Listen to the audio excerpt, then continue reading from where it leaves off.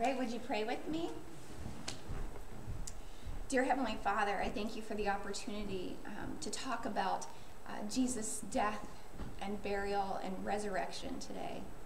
Um, thank you for the, the peace that you give us through our relationship with Jesus Christ, that we get to be in fellowship with you, Lord God.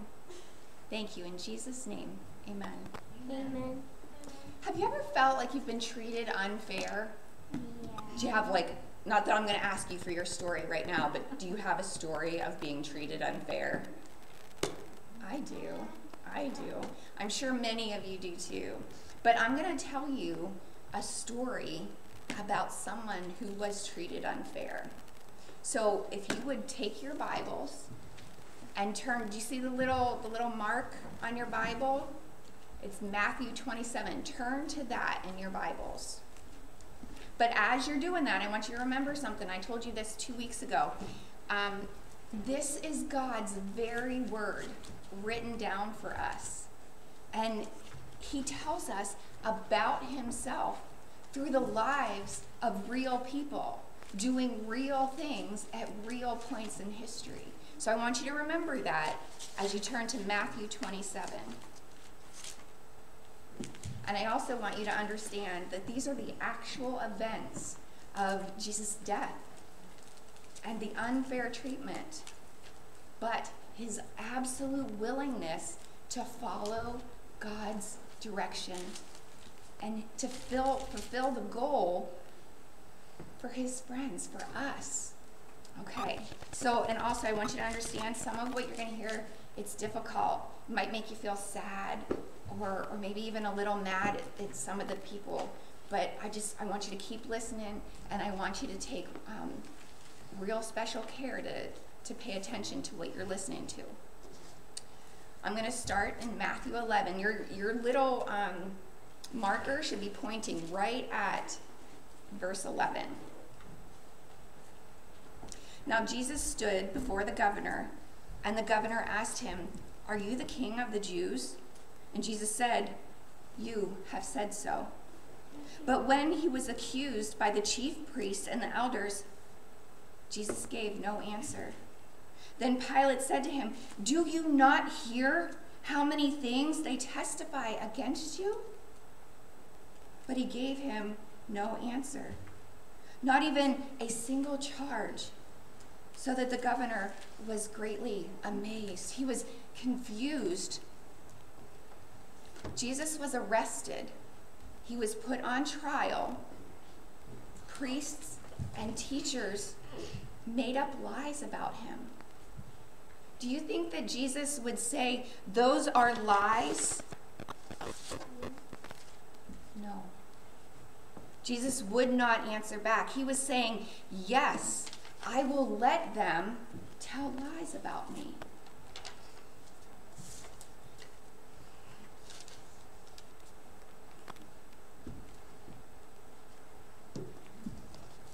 Matthew 15 and 16. So go down just a little ways.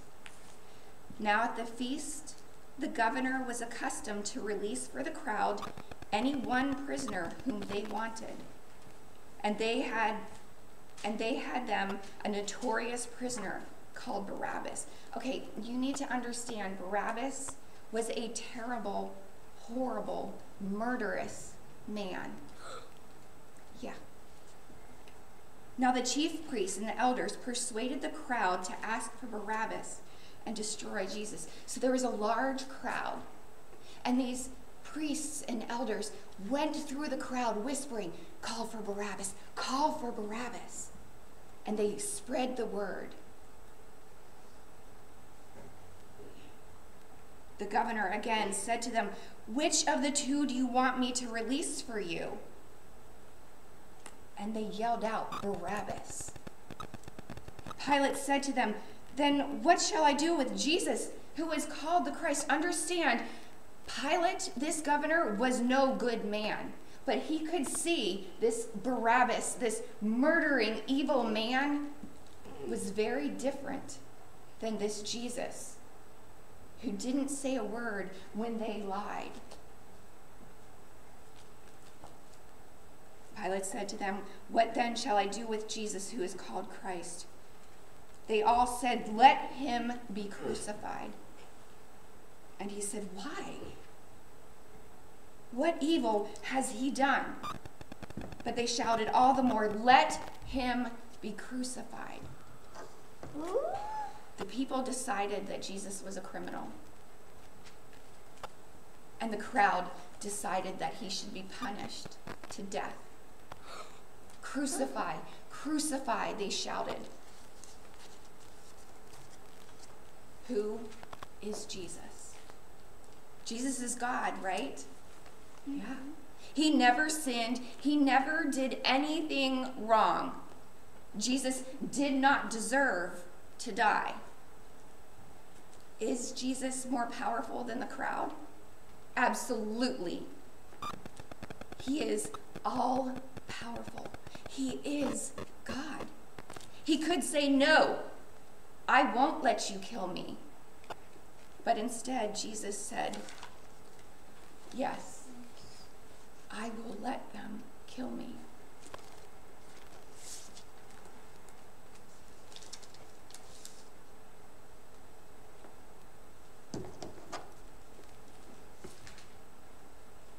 Verse 26. Then he released for them Barabbas, and having scourged Jesus, delivered him to be crucified. Jesus was whipped. He could have stopped them, but Jesus said, Yes, I will let them whip me.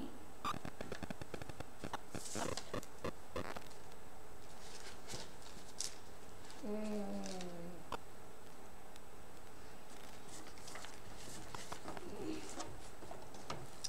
Verse 27. Then the soldiers of the governor took Jesus into the governor's headquarters, and they gathered the whole battalion before him. So, my understanding is that that could have been as many as 600 men standing there looking at Jesus. Do you think they were quiet? Yeah. They stripped him and put a scarlet robe on him. And twisting together a crown of thorns, they put it on his head and put a reed in his hand. And kneeling before him, they mocked him, saying, Hail, King of the Jews! Hail, King of the Jews! The soldiers took off all of Jesus' clothes, and they dressed him up like a pretend king with a robe and a crown of thorns. They made fun of him. They did not understand that Jesus is the greatest king of all. They shouldn't have made fun of him. But Jesus said, Yes, I will let them make fun of me.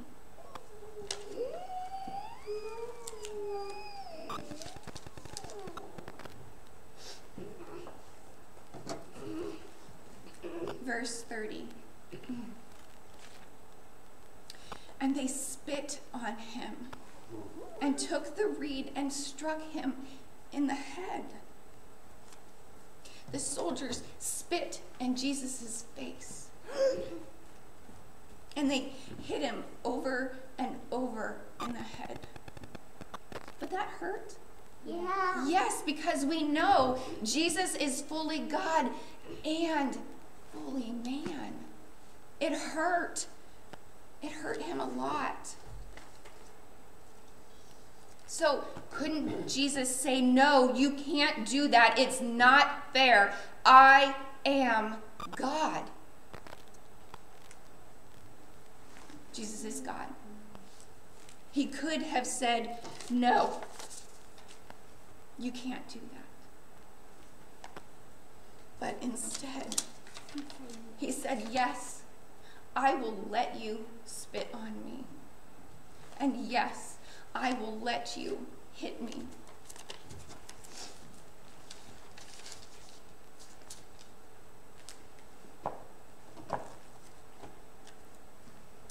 Verse 31. And when they had mocked him, they stripped him of the robe and put on his own clothes and led him away to crucify him.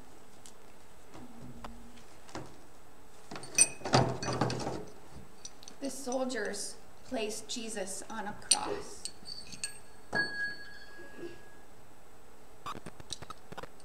Hammered and nails through his hands and his feet. The very hands that healed people, that fed crowds, that stopped storms. Do you remember that? Two weeks ago we learned that. Yes. Yeah. And he loved sinners. It bled and it hurt a lot. Jesus said, Yes, I will let you hurt me.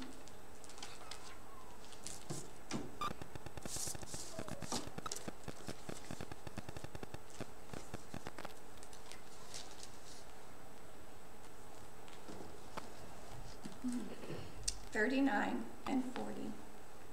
And those who passed by derided him, wagging their heads and saying, You who would destroy the temple and rebuild it in three days, save yourself. If you really are the Son of God, come down from the cross. They shouted that over and over again. The crowd mocked Jesus, saying, Save yourself, come down from that cross if you are the Son of God. How will Jesus answer? Jesus is God. Is he able to come down from that cross? No. He is able. He could call down angels from heaven and wipe out all 600 of those soldiers like that. But Jesus said, No, I will not save myself. Jesus chose to stay on that cross and die slowly, painfully.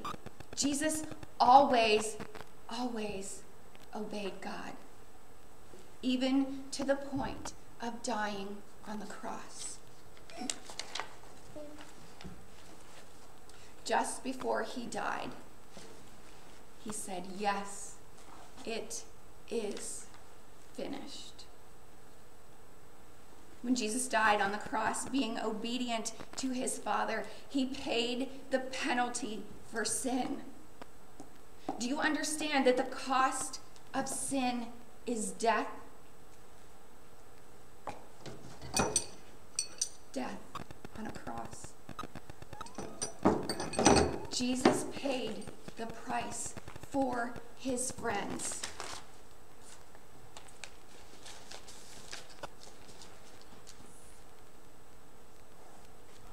There's only two responses to Jesus' death on the cross disbelief or belief. Belief and love for Jesus. So I ask do you believe or do you disbelieve? Do you believe that He is God? And that He, and only He, can take away your sin. Our memory verse is But God shows His love for us, and that while we were still sinners, Christ died for us.